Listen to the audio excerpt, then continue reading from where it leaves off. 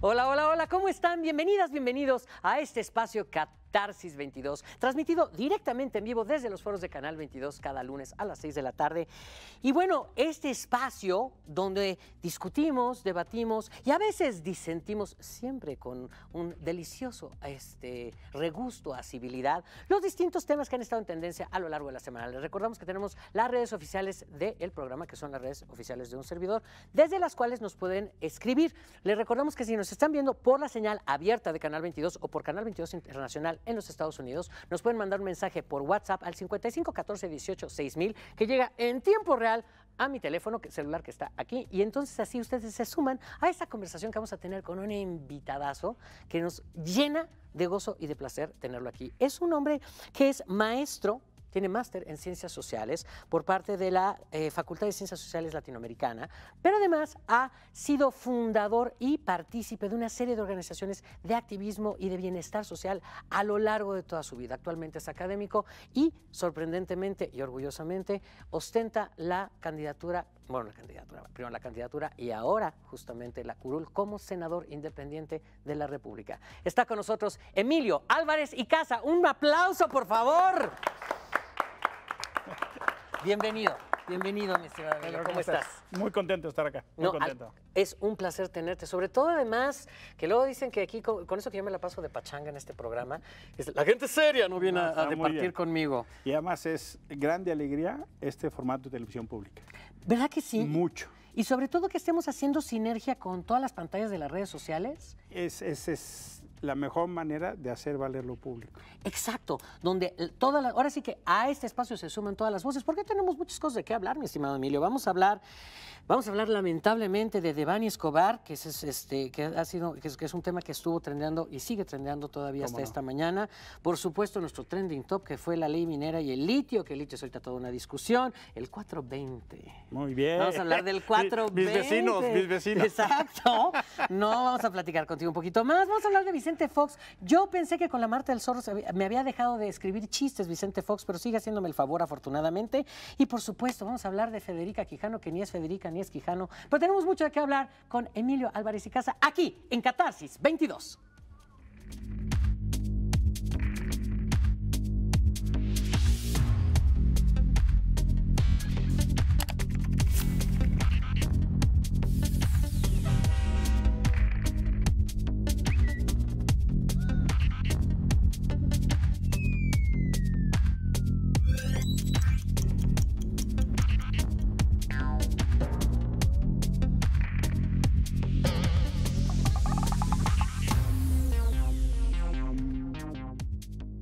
Estamos aquí con Emilio Álvarez y Casa, donde yo le estoy diciendo que ahorita al rato que hablamos del 420 yo... No, no, no, no, podría estar en el Senado, hombre, llegan unos hornazos.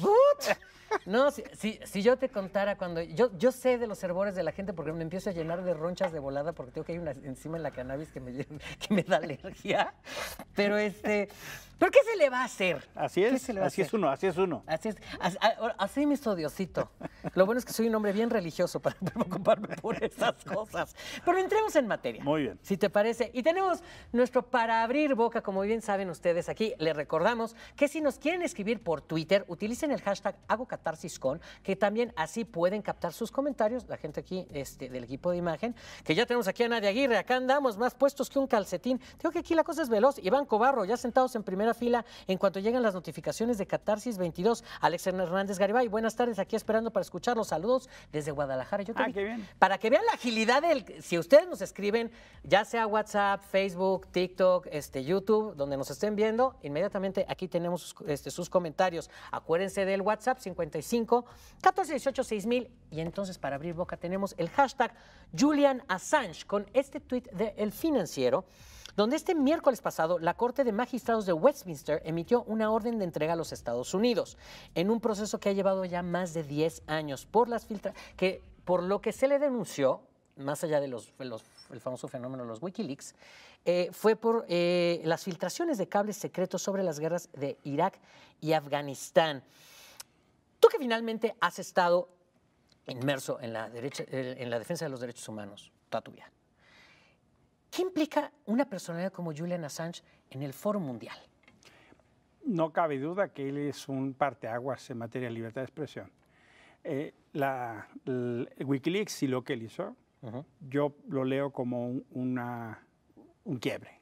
Absolutamente. Porque eh, sabíamos que había mucha información, pero esos volúmenes de información, eventualmente en la conversación en lo común no sabíamos que existía. ¿no? Absolutamente. Estas cosas del Big Data, el mining y toda esta cosa de, digamos, ingeniería de datos, eh, eventualmente en nuestra vida cotidiana no lo vemos, aunque siempre lo usamos. Exacto. Simplemente si tú estás, estuviste buscando, haciendo shopping online y de Por repente ejemplo.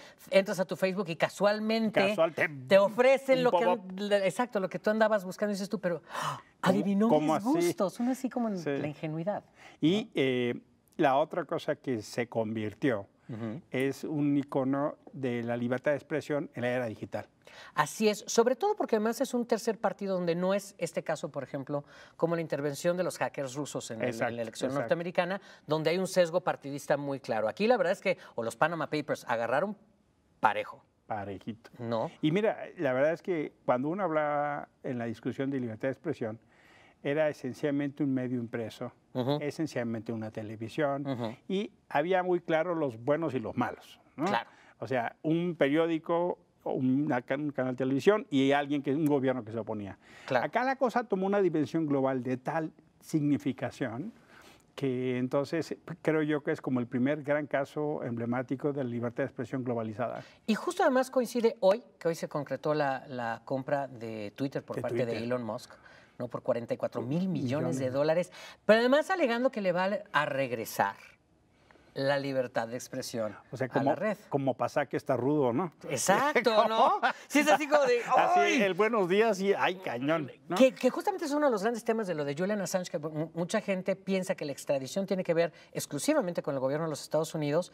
sino, pero también tiene que ver con los poderes de facto, ¿no? Estos grandes sí. intereses económicos, porque los Wikileaks salpicaron Pero parejo. no solo las estructuras oficiales. Mira, lo que, lo que revelaron es cómo estas cúpulas en el mundo, ¿no? Ujú. Cómo se comunican y qué acuerdos toman. Por eso tiene el impacto que tiene y por eso para las estructuras, esto que llamaban el establishment mundial, Exacto, ¿no? exacto. es el malo. Y tiene, y tiene que pagar por eso. Y la otra es, fíjate, comentamos en la comida para qué significa la cantidad en la que compran Twitter. Es un octavo el presupuesto de este país. Híjole, Una empresa una sola una empresa. sola empresa es un octavo de todo nuestro presupuesto. Exacto. De ese tamaño está la cosa. Y, y además, que te- no solo es un, un movimiento político, evidentemente, por parte de Elon Musk, que eso lo hemos hablado aquí en el programa, sino que además es un ejercicio de poder ante otros multimillonarios, Sí, claro. de su parte. Eh, fíjate que eh, nosotros venimos de una generación donde los grandes poderes eran las cadenas de Estados Unidos, ¿no? Ujú. NBC y CBS. Ujú. Y de repente se empiezan a construir otros grandes que son, pues, ¿qué te gusta? HBO, eh, Netflix, ¿no? Ujú. Y ahora resulta que Google y Facebook y Twitter Y TikTok. y TikTok son los TikTok- que rifan, ¿no? TikTok tiene dos billones de usuarios. Eh, sí, ¿no? Sí. Es una brutalidad. El, el- el- el principio de, de Giddens, del Homo Nunca fue tan actual. Absolutamente. Escríbanos, escríbanos, por favor. Ya saben, a las cajas de comentarios utilizando nuestro, nuestro WhatsApp al 55 14 18 6000 o utilizando el hashtag Hago Catarsis con. Tenemos más comentarios aquí. Mago, eh, eh, Mago 710, enorme maestro Comini, que hace falta un programa con usted. Muchísimas gracias. El Fabri Hernández, eh, me encanta el conductor. lo- lo- lo condu- me están echando porras ahora a mí. Eso, qué Lo bueno. admiro mucho, que no coincida al 100% con él. Es genial. Hoy, es lo que te digo. Está muy bien. Disintamos con, con este, Con civilidad. Este, si no se trata de que yo tire neta, como, como la televisión de la época del monopolio o el duopolio, donde lo que Sí. pasa es de que se tenía que tomar como verdades absolutas lo que se decía desde una cámara. La verdad oficial. La verdad. Las verdades históricas, qué ya vamos, estábamos chupando tranquilos, Emilio. Emilio Contente, ¿qué pasa, gente? Pórtese, pórtese. Por favor, Ramón Belia Cruz, siempre viendo tu transmisión desde San Francisco, California, cada semana. Un, este, un excelente conductor, muchísimas gracias. Tenemos nuestro siguiente tema, que es un tema muy complejo y que me interesaba hablar además con, con Emilio, este, con el maestro Álvarez y Casa, que es el tema de Devani, eh, Devani Escobar, porque es como lo pronuncia su padre, con este tuit lamentablemente todos conocemos la nota, este tuit del País México de esta joven que estuvo desaparecida 13 días, que apareció en una cisterna abandonada del Hotel Nueva Castilla en la carretera Nuevo Laredo. Eh, tenemos la nota de Mario Escobar, pero vamos a llegar hasta el día de hoy. Eh, su padre que confirmó que el cuerpo hallado era el de su hija y declaró muy puntualmente en ese momento que se había equivocado al confiar en las autoridades. Escríbanos qué piensan sobre el caso de Devani. Y porque hubo esta primera versión que tenemos también aquí de la Fiscalía de Nuevo León, para que vean mm. que, y de la cuenta de Twitter oficial de la Fiscalía de Nuevo León, para que vean que yo no, yo no opino todavía, para eso está el invitado para opinar, donde daban esta versión donde ella llegaba y caminaba y se brincaba una barda que ya, ya el peritaje ya este, resolvió que es imposible brincarse esa barda, y se resbaló y se cayó en la cisterna, que no hay manera. Y la respuesta, además de la primera respuesta, porque ahorita ya hay esta mañana otro posicionamiento del gobernador Samuel García, decir que él exhortaba a la fiscalía que a que nos dijeran la verdad. O sea, él, sigue pensando como ciudadano, sin darse cuenta pues que la fiscalía y seguridad pública pues dependen de la gubernatura del Estado, eventualmente. La, foto de, de Bani eh, es profundamente dolorosa. Es brutal. Es, cuando yo la vi, eh, debo decirte que pues entre que esos momentos que se te arruga el corazón y se te anuda la garganta, ¿no? Y sobre eh, todo porque además venimos ya de un rastro de sangre de mujeres. Sí, el, ¿por, qué, ¿por, qué, duele tanto? Porque eh, sangra sobre sangrado. Correcto. Es, es profundamente indignante. Y otra vez, quieren construir historias donde en esencia la primera versión pública es que fue la víctima. Y me acuerdo de esta canción. fue de fiesta. Me acuerdo de esta canción de las, las chilenas. y no importa ni dónde estaba ni qué vestía. ¿no? No es mi culpa ni dónde estaba ni qué vestía. Exactamente. O sea, e, ese, esa canción tiene que adoptarse como paradigma en las fiscalías de este país. Exacto. Eh, en la búsqueda de Devani encontraron 13 más muchachas. Eh, y resulta que la prevención no funciona, la investigación no funciona, la localización en vida no funciona y la sanción no funciona. Y el padre entonces tiene que acudir al Comité Internacional de Derechos Humanos. Vamos a irnos un corte a, un, corte a comerciales, pero porque necesitamos como seguir platicándoles de este tema de, de Bani. Por favor, escríbanos en las cajas de comentarios y desde nuestro WhatsApp sobre este tema tan duro. Les vamos a dar un descansito con nuestro periódico de la semana, con Voy a usar el hashtag porque fue el que se posicionó. Sé que al señor le pudre a don Sergio Gutiérrez Luna, pero con el hashtag Gutierritos, vean lo que sucedió en la Cámara esta semana. Ah, bueno. Y regresamos.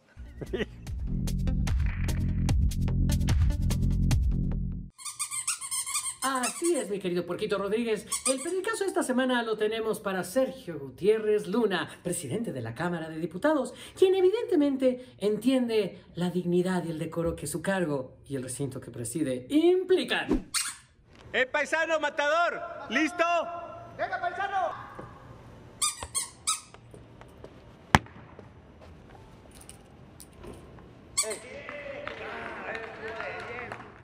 En fin.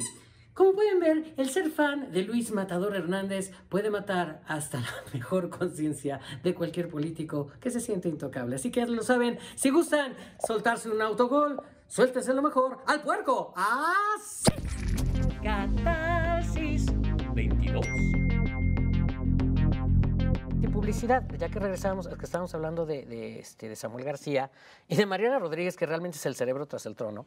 ¿No? en Nuevo León. Pero hablamos también ahorita de, cómo hay todas estas figuras como, como Sergio Gutiérrez que creen que haciendo antipublicidad van a apelar a estas bases que, que o sea, uno, que tienen una afección por el, por el fútbol, pero sobre todo que van a celebrar el, pues el desecrar un recinto, porque si, hablándolo en plata es eso, ¿no? Mira. la eh, dignidad de un recinto. Pues es que es quien ahí está es la representación de este, de este país. ¿no? Exacto. Y que porque el presidente de la Cámara se le ocurre echarse una cascarita, eh, esencialmente motivado por esta idea de, atraer, ¿no? hacerse conocer. Pero, oye, qué vergüenza de conocer de esta manera tan patética, ¿no? Yo lo, yo lo que es que, uno, tendría que haber como una, una conciencia no solo del, del, espacio, sino de la investidura. Absolutamente. Uno. Y dos, son los primeros que se rasgan las vestiduras cuando alguien pinta un monumento. Ese. ¿No? entonces, ajá. O sea, ¿cómo, cómo, cómo así que te parece tan importante y te pones a echar una cascarita. Exacto. No sé, no si es un hombre con un balón, sí se vale. Si es una mujer a la que le arrebataron a su hija de siete años porque, su, porque su abuelo abusó de ella y la asesinó en el acto, y eso sí, y eso sí no se vale. No, pero además, eh, digamos, hoy hay, hay un, la- la- las, eh, las redes sociales tienen, son como boomerang, ¿no? Porque lo que mandas regresa Ah, sí. y, y eventualmente cómo regresa. Y yo pienso que Sergio, eh, pues él dice que le caga que le diga Gutierritos, pero yo creo que la cagó. O sea, se, se Es- equi- se equivocó. ¿Vis- vis- Es, es un boomerang, es un silogismo de segundo nivel, muy, elegante del maestro. Pero no es por eso, Shaggy Torres nos dice buenas tardes a todos, saludos al invitado.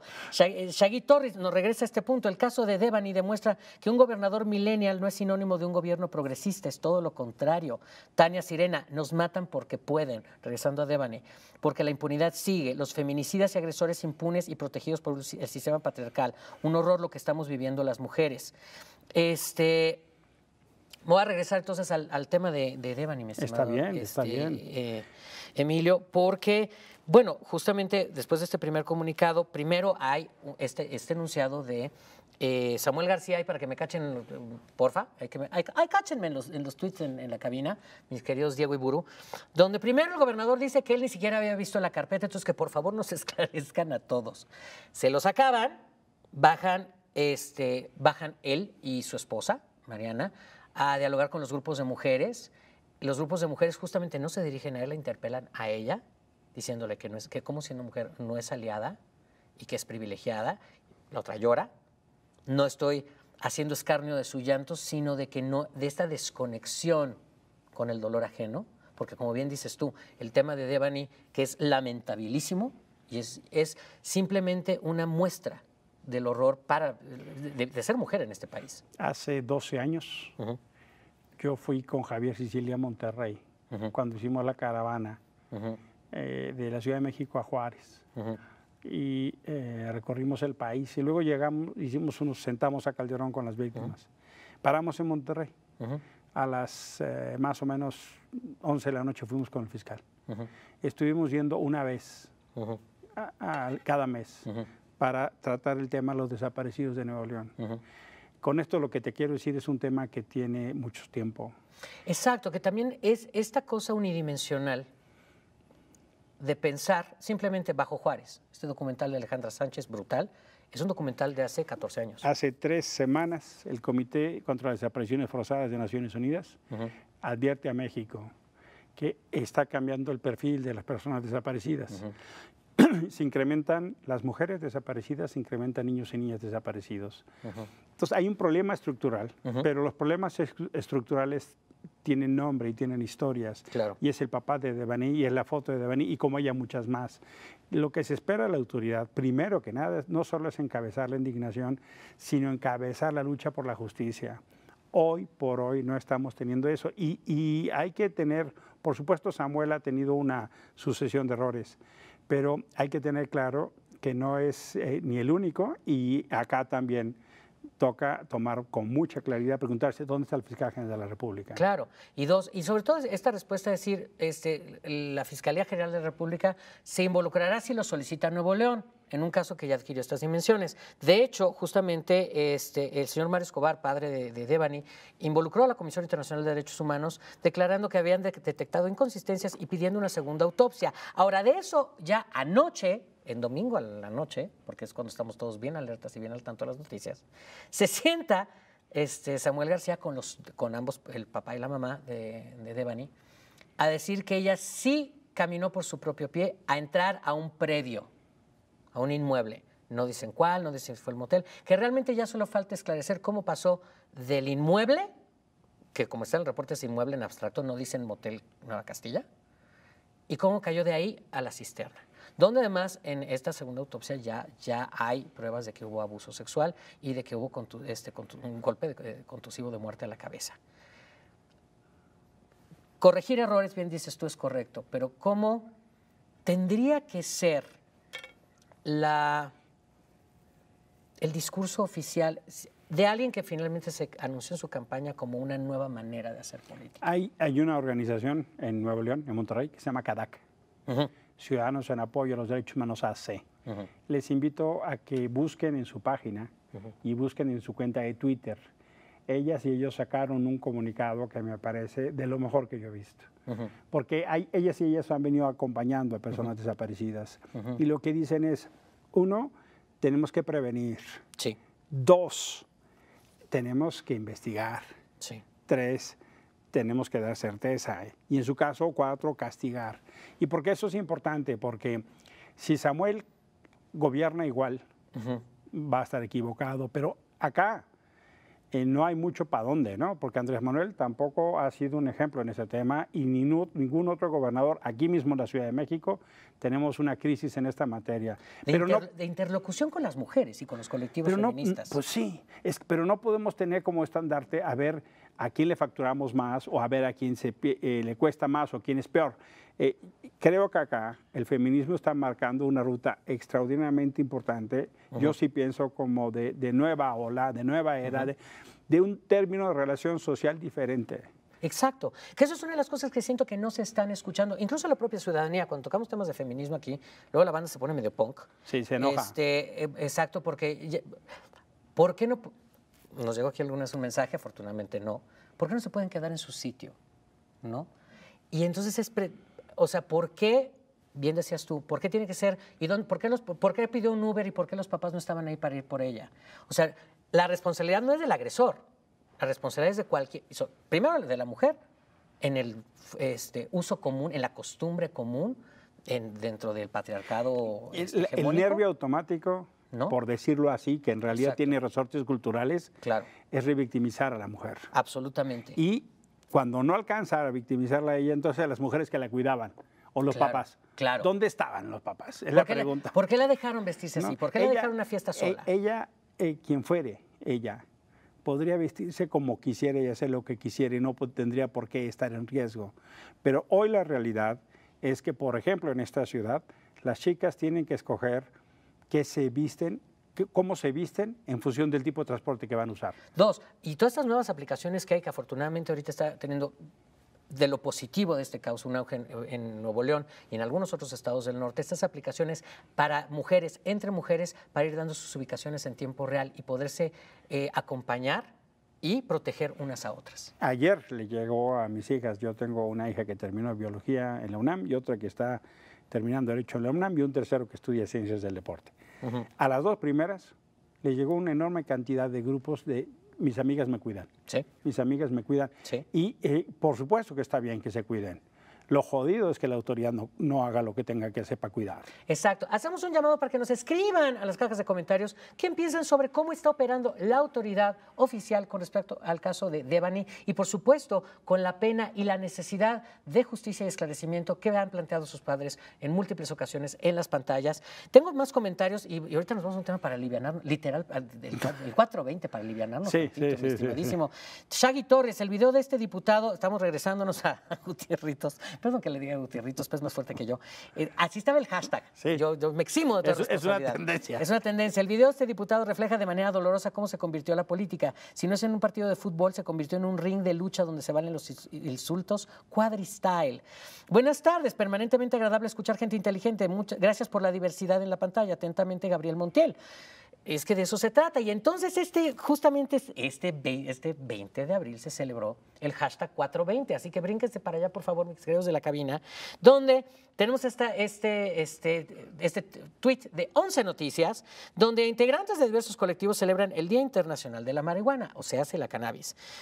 Y esto es importante por muchas razones, porque la gente siempre piensa como, antes que nada, en fiesta, pero se les olvida la infinidad de aplicaciones médicas que tiene. Por ejemplo, por eso tenemos también este tweet de, además de los colectivos, bueno, ah, que vean a los colectivos ahí este, justamente marchando en pro de este día, sino eh, este tweet de Infobay, donde viene el caso de uno de tantos casos de cómo los derivados como el cannabidiol, mejor conocido como CBD, que se venden aceitito en gotero, resultan de gran ayuda medicinal para tratar dolores crónicos agudos, epilepsia y casos de ansiedad extrema. ¿Usted qué opina? Yo lo vi ahí por ahí en un tuit abrazado a algo que parecía un apio. Este, sí, parecía un apio, pero era un churrito, un churrito, un churrito vegano. era un churro vegano, era un churro vegano. Este, yo le di a Olga Sánchez Cordero una pues una matita, ¿no? Una planta de marihuana, que me dieron los de plantón 420 afuera del Senado, eh, en el ánimo de no solo hacer agenda pública, sino decirle, a ver, señora, usted presentó una iniciativa cuando estuvo acá al Senado. Vamos retomando el tema. Claro. Eh, por supuesto que soy de los convencidos que se tiene que legislar con dos reglas, con un enfoque de derechos y con un enfoque de libertades. Claro. ¿no? Eh, derechos sobre mercados y libertades sobre prejuicios. Claro. Así en esa ecuación. Claro. Eh, eh, infelizmente, el plantón lleva ya dos años. O sea, de veras esa gente requiere mi reconocimiento. Que ha habido algunos avances importantes. Ha habido, pero está atorada. El, miércoles terminamos el periodo nuevamente y va a brincar hasta septiembre otra vez. Hasta septiembre. Porque eso tiene que, tiene que estar todo el pleno, salvo que quieran hacer un periodo extraordinario, que no creo ni veo que lo vayan a hacer para la marihuana. Pero, eh, pues la verdad es que ya no va, ya no va. O sea, hay cualquier cantidad de eh, industrias que tienen que ver con la salud, con el cáñamo, con alimentos, con la producción. Ya no solo es un tema del consumo adulto, adulto y el este, consumo lúdico responsable, y recreativo y responsable. O sea, digamos, lo que hemos avanzado es justo en estos dos términos. Exacto. El consumo adulto y el consumo responsable. Absolutamente. Y por eso, ahora, eso se los dice un señor que le da alergia a la cannabis, entonces este, yo la verdad es que yo nomás la veo pasar de lejos. Al señor sí lo veo abrazado de su yo, Sí, pero mira, yo literalmente les digo, yo no fumo, pero me sumo. Por es que es como el feminismo. Es así. Es el hallado. Sumarse, sumarse a que la gente... un tema de derechos. Absolutamente de acuerdo. Y con eso, por eso nos tenemos que ir. A que este día, 21 de abril pasado, fue el Día Mundial de la Creatividad y la Innovación. Y tenemos nosotros una cápsula de salud emocional. Venga. Entonces, ya que estamos hablando de derechos de salud emocional, les dejamos esta cápsula y regresamos con Emilio Álvarez y Casa a Catarsis 22.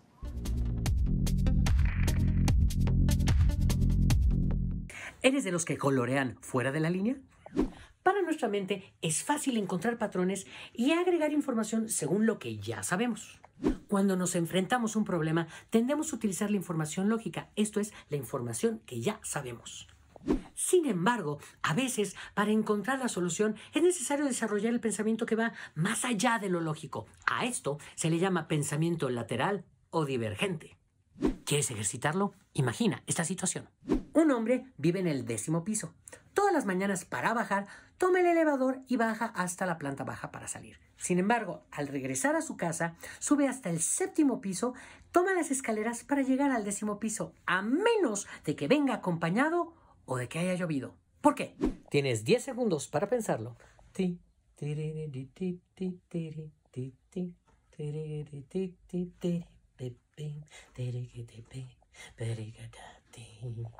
Respuesta. El hombre es de baja estatura y por eso no alcanza el botón del décimo piso. Por eso, si llovió, lo alcanza con el paraguas. Y si viene acompañado, pide ayuda para tocarlo. ¿Pudiste pensar más allá de lo lógico? Déjame un comentario. Catarsis 22.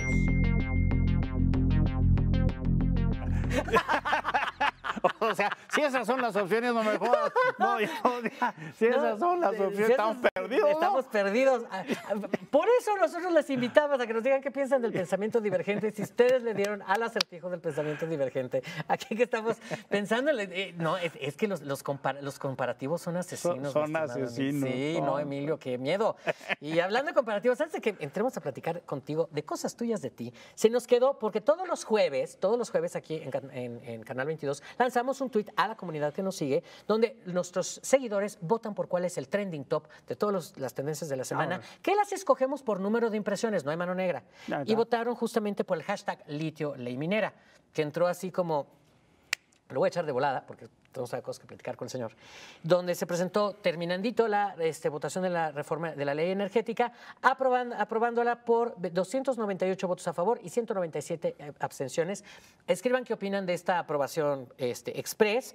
Este, y tenemos pues la pregunta de todo el mundo de que, que, cuál es el tema con el litio, cuál es la obsesión con el litio. Y entonces tenemos de político, ¿por qué se le llama ahora el oro blanco? Al litio.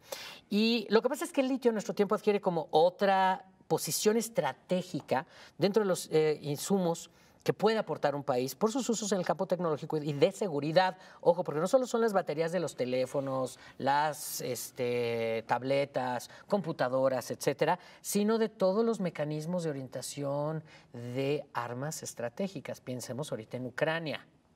¿No? Le, le, hace misiles. Le hace misiles, sí, pues sí.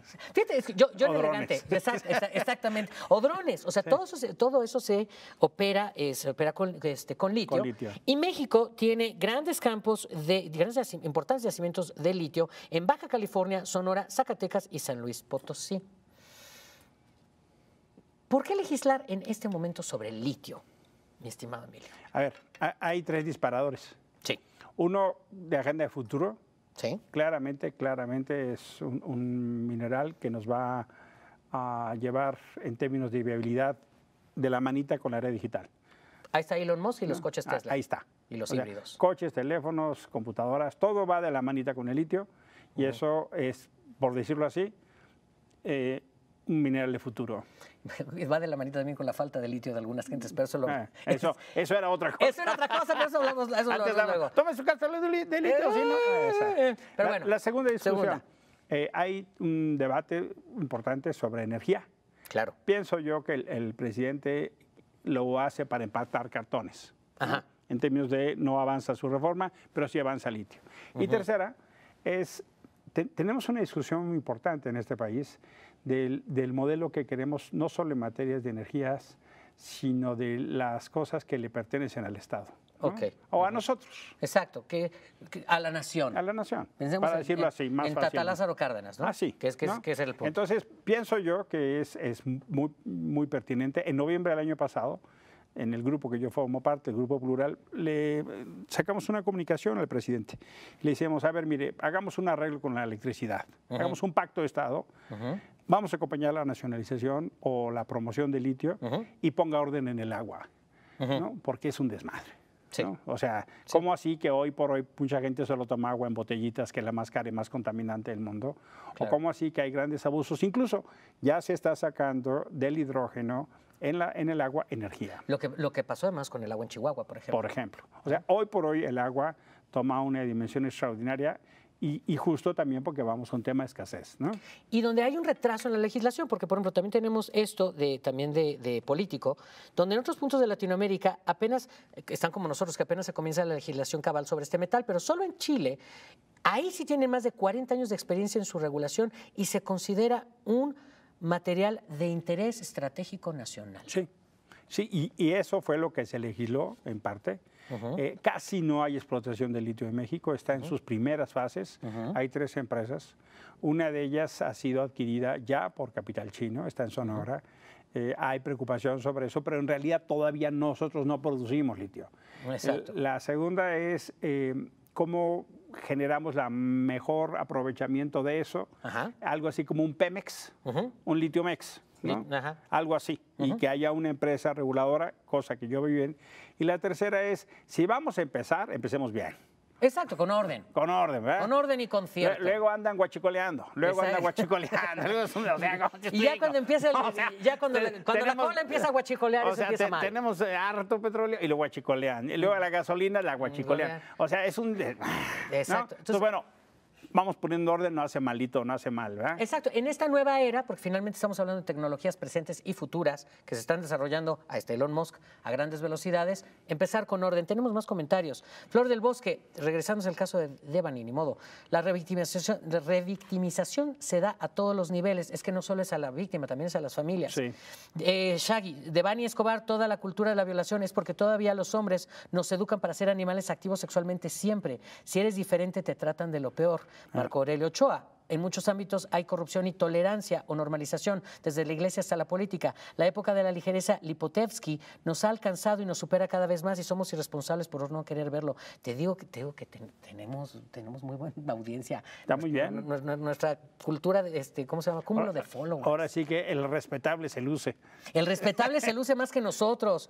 Este, Hola, ¿qué hace? Tenemos esta sección de nuestro programa donde sí, ya le, como la llama del meme, le preguntamos a usted, hola, ¿qué hace? Y una de las cosas que, que, que queremos preguntarte, porque nos pidieron nuestra audiencia a través de mis redes sociales preguntarte, es que tú estás lanzando la iniciativa de la creación de la Secretaría de Derechos Humanos. Sí. Sí. este, que tendría que ser, justamente ante todos estos casos que estamos platicando, eh, una parte estratégica del gabinete, Sí. ¿no? Y eso, pues, ¿cómo va? ¿Dónde va? ¿Para dónde va? Eh, yo estuve en la Comisión Interamericana de Derechos Humanos en Washington, cuatro años. Eh, fui su secretario ejecutivo. Eh, tuve la suerte de ser el primer mexicano en ese cargo, del 12 al 16. Y ahí conocí mucho, y esta es una experiencia que traigo a México de esa vivencia. En Argentina, en Brasil, en Uruguay, en otros países, hay secretarías de derechos humanos. Y eso quiere decir dejar de verla como un tema de control de daños. Quiere decir conducir la política pública para que se hagan realidad.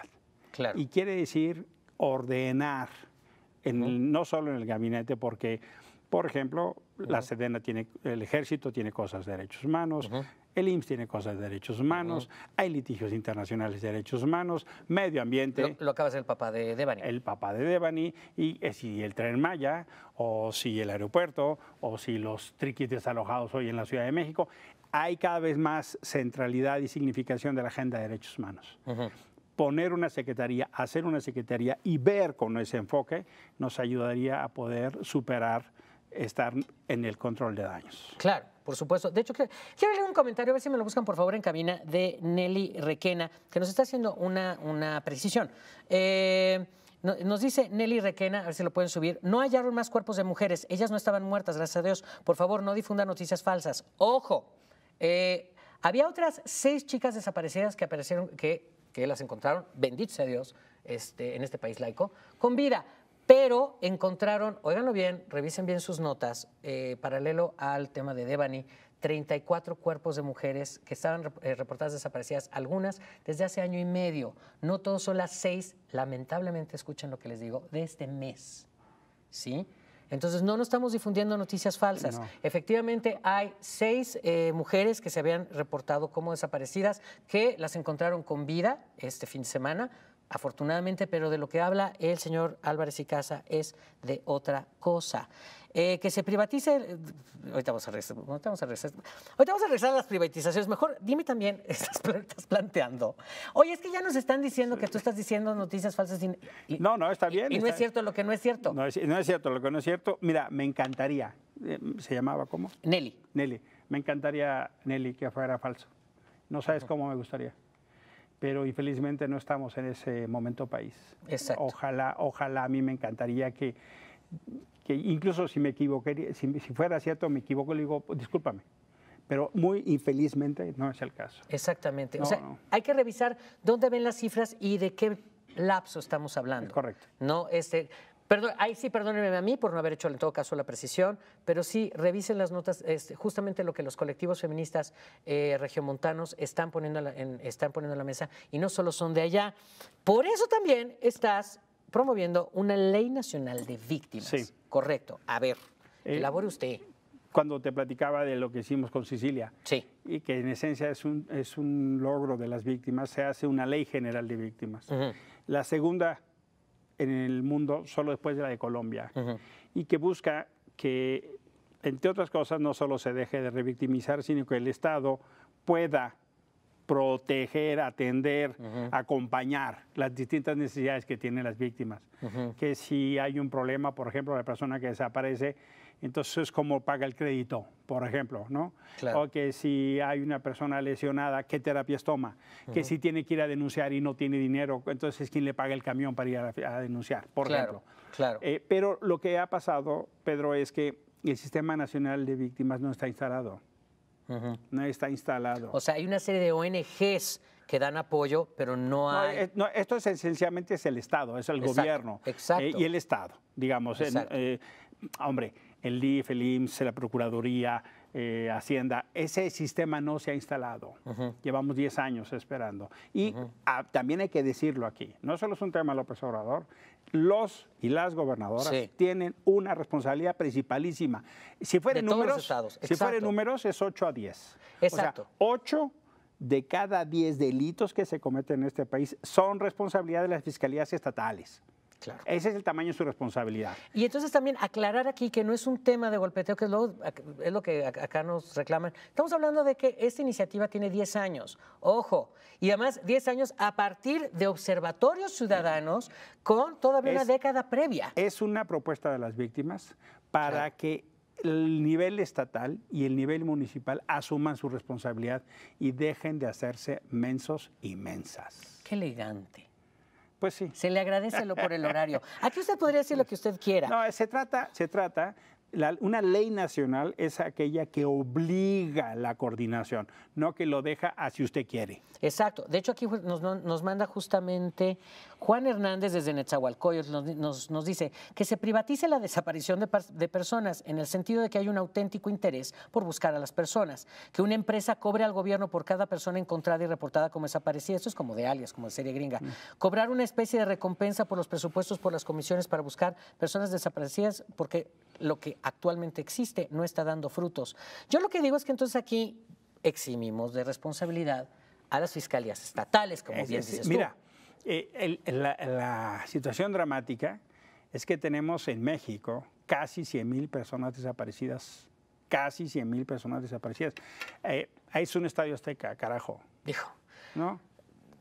Otra vez te voy a tener que pedir un descanso porque ya, ya, ya, ya quiero yo escupir el corazón, lo más de de más O de sea, estar es, estas es- cifras. es nada más para que tengamos dimensión. Y por eso, por eso, tenemos que entender que se necesitan, yo sí pienso, mecanismos internacionales para que nos vengan a ayudar. Como Claro. lo hicieron con Guatemala. Exacto, exacto, o sea, no es un asunto de fiscalización, sino es un asunto de colaboración. Absolutamente. ¿No?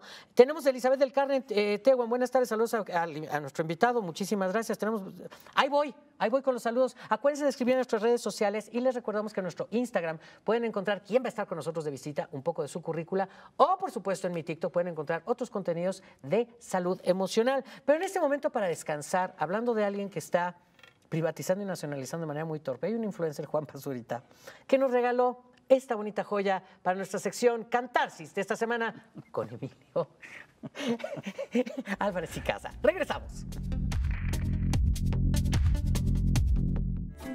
Otro influencer famoso nos deja a todos impactados, ya que hace poco decidió lanzar su línea de tacos y el público criticó su precio y su sabor. A algunos da vergüenza, por Dios que lo detenga, no hay que darle más cuerda. El que que son toda una sensación y necesita de un milagro para que funcione a largo plazo. Influencers son, ay, pero qué obsesión. Su contenido, ahí les va mejor. Hola, soy Juanpa, amigo. ¿Cuántos vas a querer? Tenemos tripa de búfalo tibetano. Ya estamos al, de, de- de veras, yo diciendo que, la- que toda esta gente es inútil sin talento. Mira, yo, yo sí pienso que em, va- vamos a tener que un poco. ¿De veras sí? no, sigue, tú síguete. Tú síguete. Vamos a tener que, que aprender. Exacto. ¿no? Que, que- que muchos seguidores y popular no necesariamente, ni es confiable ni es atendible. Exacto, o sea, el hecho de que tú te hayas enganchado con alguien por su contenido no quiere decir que sea una persona ética. Dos, que por la edad, y eso es otra cosa también importante del fenómeno de los influencers, que tengan la estructura como individuos todavía. De repente algunos de ellos a los 16 años ya estaban ganando millonadas. Digo, ya vienen en declive como el fenómeno de los influencers, pero hace dos, tres años, por ir a pararse a un lanzamiento de marca les daban 120 millones de pesos. Sí, sí. sí, O sea, sí. o sea, eran unas cantidades así. Y entonces son estos chavitos que no sabían qué hacer con... el- No, una cosa así como mandar un tuit en la campaña de 18, 2 millones de pesos. Exacto. 500. Es más, para ir a escuchar, para ir a escuchar, Yo les digo- 150 mil pesos, 200 mil, 500, para ir a escuchar. No, no, eso es, no, no te he dicho que sí. Sí, ¿no? No, ahora, yo lo que digo es que todos No, mami chavitos. blue, o sea. te- te- No, mami blue. Yo lo que digo es que todos estos chavitos se tendrían que ver en el espejo futuro de los implantes de Luis Miguel encerrado como loco en Acapulco. Yo nomás digo, no tener como estructura para manejar es, es poder. Es poder, es dinero. Es poder de convocatoria, Y, y a veces, a veces sucede que, por supuesto, uno estaría a favor siempre de que las chicas, los chicos, los chicos estén ahí empujando la agenda, ¿no? Absolutamente. Pero a veces detrás hay adultas, adultos. Sí, no, sí. Vean, Hay varios casos con a, mano a Luisito negra. Rey. Vean a- Ahí, ahí está Luisito Rey. No, ahí está. ah, Véanse moraleja, en el espejo de Luisito Rey. moraleja. Por eso tienen que ver la repetición de este programa. Les recordamos que tenemos repetición por el 22.2 de televisión digital. Pueden ver este capítulo completo con Emilio Álvarez y Casa aquí con nosotros en el 22.2. Y aquí en Canal 22, su señal de siempre, nos pueden encontrar al final de Visión Periférica el día de hoy a las. Yo estoy como Lelutier. En el horario normal de la cultura de las 12 de la noche. Este, y por supuesto, los miércoles se encuentran el capítulo hay, completito hay que en YouTube. A los de menos de 18 años, una encuesta rápida, ¿quién es Lelutier? ¿Quién es Lelutier? Ah, ¿verdad? No, esto es para los, para los verdalugares cuarentones y cincuentones que me ven. Gracias a la gente de mi generación que me ven, que me ven por la televisión abierta. Gracias por su bonito gesto de solidaridad. Exacto, escríbanos, por, por favor, si son de mi generación. Si todavía existen. Exacto, escríbanos al WhatsApp 55 14 18 6000 o escríbanle en las cajas de comentarios, por favor, este, que necesitamos de su amor, por Yo favor. soy gran fan de Lelutier. Sí, fan. oye, sí, pues es que sí, el asesino misterioso. El oso libidinoso. Eh, eh, sí. Con su caparazón. Don Rodrigo Díaz ¿Dónde de Vivar, está mi caparazón? que fue acusado por fundación ilícita, porque fundó Caracas en pleno centro de Caracas. Exactamente, el adelantado días de carreras. Oye, tú, pero esp- espérame dos segundos. Tenemos nuestro absurdo salvaje. Oh. Por eso lo abrimos con Juan Pazurita. Con el hashtag Fox, nada más y nada menos, porque tengo que yo pensé que ya no iba a dictar más chistes para mis espectáculos, sabes que estaba yo equivocado. Vicente Fox Quesade, lo tenemos desde su propio Twitter, este, celebra la votación sobre la, la iniciativa de energía eléctrica con un tuit, con la bandera de Senegal, señoras y señores, en vez de la bandera de México. ¿Cómo sé que justamente él está el líder? Él, tal- dicen, dicen los que saben, este, si tienen el otro, el de Aristegui, regálenmelo, porque ahí sí se ve la foto grandota. Mira, mira la bandera con la que festejó mi compañerito. Yo digo, si no la controlas, como decíamos, el consumo responsable, ¿no? Te lo digo porque ya, es que- ya ves que está en la comercialización, está en las iniciativas de comercialización. Está bien que, que, que Senegal esté en el Mundial, pero... Pero, hello. No Mami Blue, ya dijo usted. Exacto, No, exacto. citando. ese clásico, ese clásico. Escríbanos, por favor, qué piensan de la celebración del expresidente, del ex- del expresidente Vic- Vicente Fox. Y oiga, tenemos para usted una sección especialísima que es Jalas o Resbalas. Ok. ¿No? Que es la, ya la- la versión elegante, es que es un fragmento del cuestionario Proust, este que está en la contraportada de la revista Vanity Fair. ¿Está usted listo, maestro? Venga. Es muy sencillo, regálanos dos cajas, mi querido Buru. Y esto es muy sencillo, porque son 10 preguntas en un minuto a dos opciones. Y usted escoge la opción que su instinto le dice que es la buena. ¿Le parece? Venga. ¿Listísimos? Corre tiempo. ¿Martin Luther King o Nelson Mandela? Nelson Mandela. ¿Benito Juárez o Francisco y Madero? Madero. ¿Cine de arte o cine comercial? De arte. ¿Pessoa o Benedetti? Benedetti. ¿Leer la mente o ser invisible? Ser invisible. No, divertido. ¿Tacos al pastor o quesadillas? Tacos al pastor, sin duda. ¿Pueblo mágico o playa virgen? Pueblo mágico. ¿Activista o funcionario electo? Activista. ¿Cuauhtémoc Cárdenas o Manuel Maquío Cloutier? Cárdenas. ¿Dejar pasar o ver el mundo arder? Ninguna de las dos. Híjole, un aplauso para esta mentira blanca de político. El maestro, yo aplaudo con lengua de señas mexicana, porque si no me ando tronando el micrófono yo solo. Es correcto, es correcto. Sí. Sí, porque ni, ni dejar pasar ni ver arder. ¿No? O si soy activista, Pues sí. Lo que pasa es que luego está ese famoso dicho de que las revoluciones no se hicieron con súplicas. ¿Qué Eso- opinas tú de eso? no, no, no se hicieron con súplicas. Y, y sí pienso que en ocasiones hay que meter el cuerpo. Es correcto. Es correcto. Tenemos aquí comentarios antes de... ah, Aguanta dos segundos antes de irnos, porque si no se las quedo de ver. Eh, José Manuel Quintero, necesitamos a más sociólogos, antropólogos y psicólogos en el gobierno o cerca de los tomadores de decisiones. Me parece una premisa muy, muy, muy, muy sabia. Y pregunta Gerabi Instelec, saludos. ¿Por qué se dice que los recursos naturales o estratégicos son de la nación y ya no necesita promulgar otra ley para proteger al litio? Es que ya estaba desde la reforma del 27, el litio se considera como parte de esos minerales que son parte de la nación. Todo es semántica. Y en este programa semántico los esperamos el próximo lunes con otro invitado maravilloso. Queremos agradecer a Emilio Álvarez y Casa que todavía tenemos un bloque exclusivo en línea. Así que brínquense a Facebook, brínquense a TikTok, brínquense a YouTube, porque Emilio Álvarez de Casa tiene para otro ratito. Aquí estamos. Nos vemos el próximo lunes. Siempre tienes estas cosas arriba en tu programa. Le dije, es que están pasando todo el Es que eso está pasando. A la, toda la gente que me pregunta, bienvenidos al bloque, bloque exclusivo en línea por TikTok Live, YouTube Live, Facebook Live, este, desde el Facebook y YouTube de Canal 22 y TikTok de un servidor. Eh, seguimos con Emilio Álvarez y Casa. Aquí seguimos. Que tengo que me preguntan que por qué siempre tengo estos temas como lo de Devani, como aquella chiquita, ¿te acuerdas de 14 años que llevan todas las sus chambelanas, este, su- este, su cortejo de quinceañeras llevando el féretro? Pues no es que yo quiera. Eh, mira, Me igual. encanta, como decía esto hace rato, me encantaría no hacerlo. Me encantaría y regresamos, meter el cuerpo, dejar pasar, ¿no? Es correcto. No, pues, digo, dejar, eh, dejar pasar o ver que arda. Ninguna es opción. O sea, hay que sí reflejar eso. Nos duele, pero esa es la realidad. Claro. Ahora, yo re- respetando yo tu posición, este, aquí es Fabiola, que está ahora aquí ya echándonos, echándonos porras. A mí, ¿sabes qué sí me pasa, este, mi estimado Emilio? Que yo lo veo con los, con, con los feminismos, porque más hablar de el feminismo No, también. ya- ya no da, tampoco no, es. no, ya no da, porque como todo, como todo movimiento que se organiza y que crece y se dimensiona, no solo en México, sino en todo el mundo, tiene fracciones y tiene subnúcleos ideológicos, ¿no? Pero sí yo sigo pensando que nunca una puerta, una ventana valdrá más la vida que la vida de nadie. No, no. No, o sea, no, No, no. La vida no me da. Mira, en alguna ocasión discutía con una de mis hijas y salió un tema, ¿no? Eh, eh, y la verdad debo de confesar que me dio una gran lección.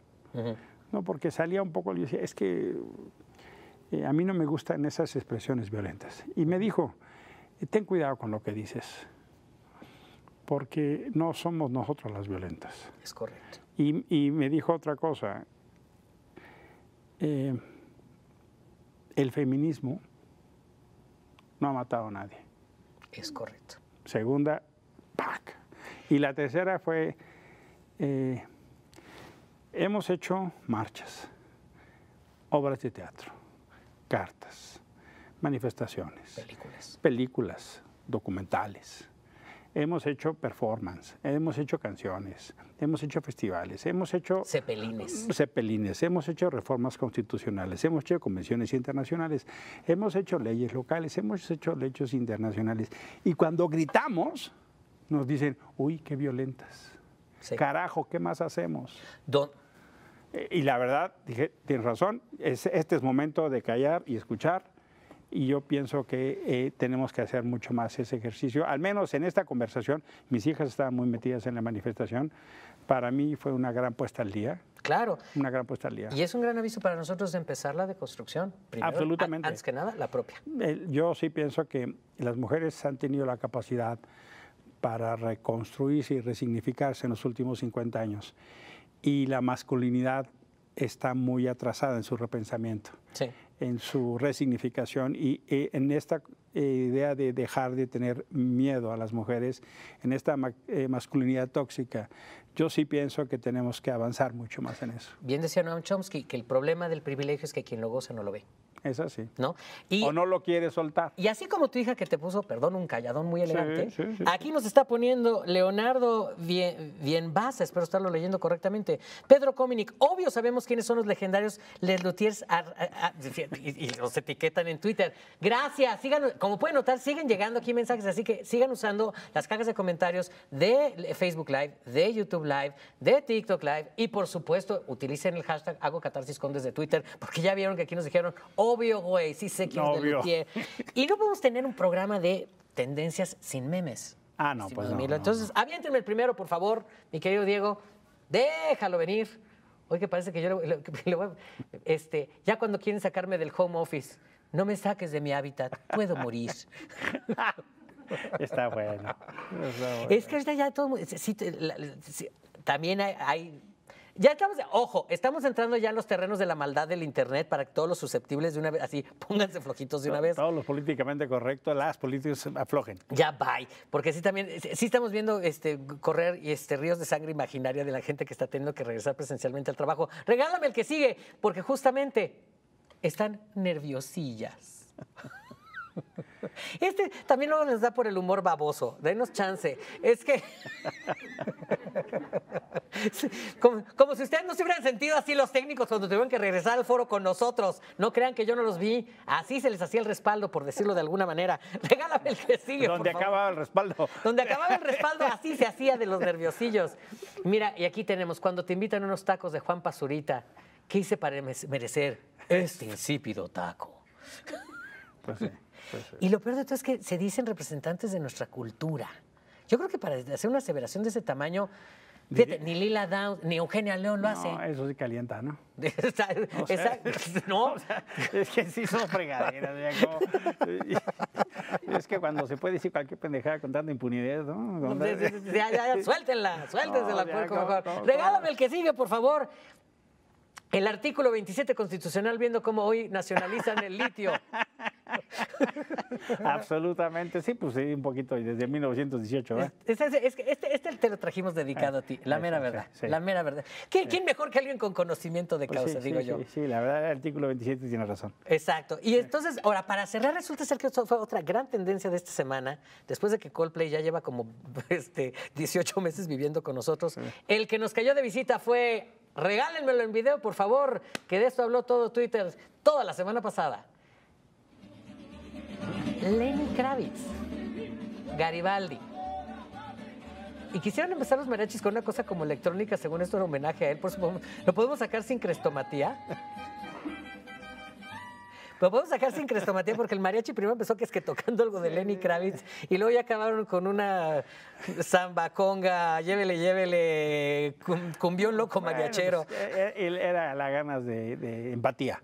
Oye, yo no sé cómo andes tú de- de- de tu CURP, pero este, 58 años. Ches genes así como. Sí, sí, sí. Así, así, sí, su, su, su, su genetic pool, su alberca genética, así que mie- ¿no? Sí. Que envidia de la mano, no hay de otra. o sea, dice que envidia de la buena y de la mala. No, la envidia de pibe. 58. 58. No, pues sí le raspa. Dice que, que, sí- que es hijo de Cher, dice Buru. no, no, es de que él sí es toda, él todavía todo es reciclable. Todo. Él sí, él, sí- él sí es biodegradable todavía. A Cher es reciclable, él es, él es biodegradable. Y es, es una buena descripción, hijo de, hijo de Cher. Hijo de Cher, hijo de Cher. Y bueno, también este-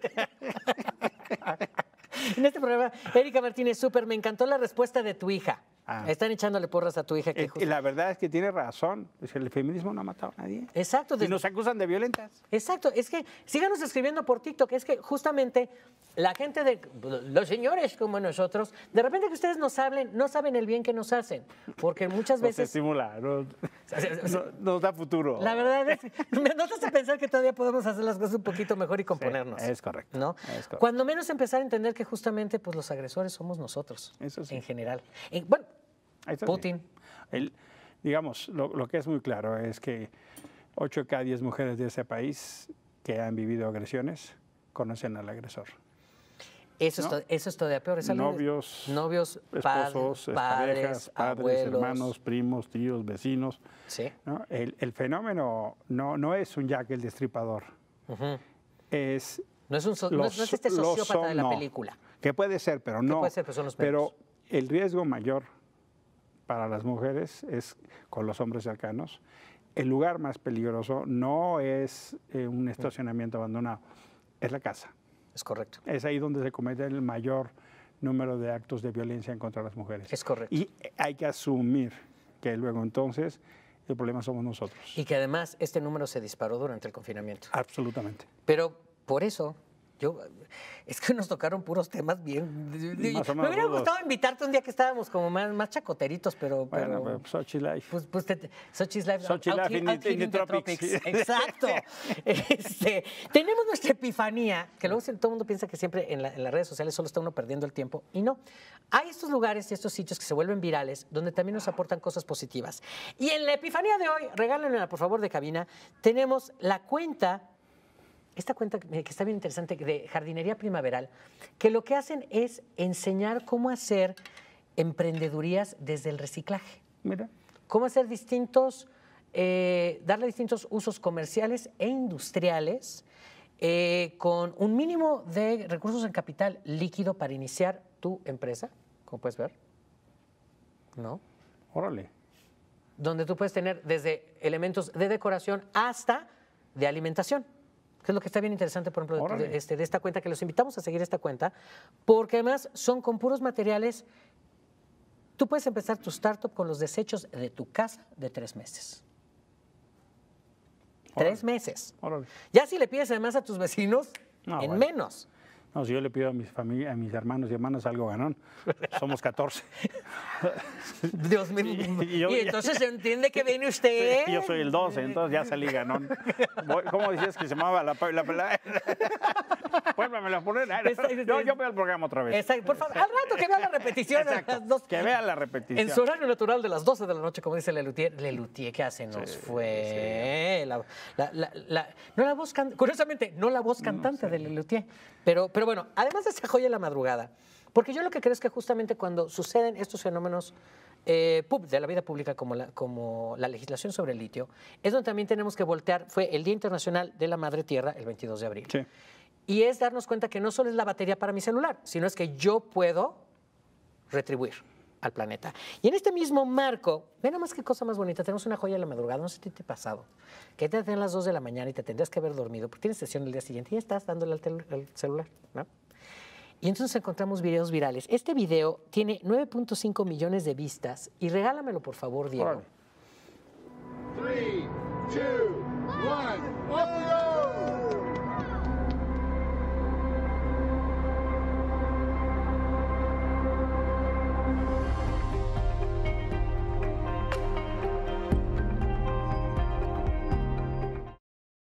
Espacial desde esta cuenta que lo que se dedican, mi querido Emilio, es a tener estas cámaras 360, que estas la lanzaron en un globo aerostático a 11 kilómetros sobre eh, la estratosfera, ¿no? Y donde justamente nos recuerdan, por ejemplo, esto, que podemos ver a 360 el interior de un tiburón Sí. Con vida. Yo no quisiera estar en lugar de la cámara. No, no, no. Entonces, Pobre, es- pobre cámara. Exactamente. Yo, yo no sé si, si te ha tocado ver en, en- en los acuarios como, como los escualos sí, sí, grandes sí. de cerquita. Sí, sí, sí. Sí, sí, es que la Virgen Mira, te habla. eh, en- hay un lugar ahí en Baja Norte, Baja California, que se llama Bahía de Banderas. Y fui a nadar con tiburón ballena. Y te explican, no, no, no. Para que no sientes que estás en película de Spielberg. no, no, eh, ellos eh, abren la boca y toman lo que tú quieras, ¿no? Y nos echaron los lancheros como a dos metros y el cosa es abre el hocico y dices, ay, hijo de ta-". O sea, si te saca de onda, aunque Sí. te explican, no tiene dientes. Es más, tú le harías daño. No, pues sí. Te ya, lo indigestas. Sí, exacto. No. Tú, tú eres medio porquería, ¿no? Esa- exacto. Pero ver esa cosa y sin dientes, no, pues sí, sí estuvo. Y ahí es donde dices tú, qué valor, por ejemplo, los, los nadadores, o sea, que además hay una gran cultura de natación en Australia, en las playas, Sí, ¿no? Donde Sí, más, sí. y sí, y sí los ven. los ven. Ahora, que es un poco como también la gente del norte, las víboras de cascabel, mientras tú no te metes con ellas, no se meten contigo. Pues No, yo prefiero no, no. ¿Para qué le anda uno ah, jugando al...? Yo no. al eh, vivo? o sea, si está ahí el pinche tiburón, yo no me meto. O sea, no, no, no. Porque ahí dicen, no sé, cuando alguna vez leí una nota de cuántas personas son atacadas por tiburones. Pueden ser pocos, no lo sé. No quiero estar en estadística. No, ¿para qué vamos a estar en, e- para, para qué vamos a estar en esas cifras? De Jesús Mejía de eh, Cocoaletzi, de Ecatepec, Estado de México, son todos de gran importancia y deben de contar con el apoyo y la opinión dirigida al cambio de la unidad. ¿De qué estamos hablando? Sumando respeto y conciencia al trato a mujeres, el tema sobre la cannabis ha sido soslayado y ahora se debe legislar a favor de su legalización. Es menos perniciosa que el alcohol. En general considero bien tratados los temas. Gracias. Gracias. Muchas gracias, por favor, a quien nos escribe. Malusa Álvarez, ahorita lo que corren créditos. Este, saludos, Maite Pliego. Hola, saludos. Te están te, te siguen mandando gente saludos. Saludos. Emilio Álvarez y Casa, gracias por estar Mi con nosotros. ¿Cómo la pasaste aquí en Muy bien. Catarsis 22? Muy bien, me encanta, me encanta. Este- Y además es, es la mejor rep- eh, representación y presentación de la tele pública. Gracias. No tiene ni por qué ser aburrida, no tiene ni por qué ser oficiosa, no tiene, tiene que ser inteligente, divertida. Exacto. Eh, y estos son los modelos que hay en otros países de tele pública. ¡Ay, alguien que sí vio tele de fuera, que volteó a ver Catarsis! ¡Un aplauso para nuestro Álvarez y Casa! Para que no me jubilen pronto en Canal 22. Nos vemos el próximo lunes.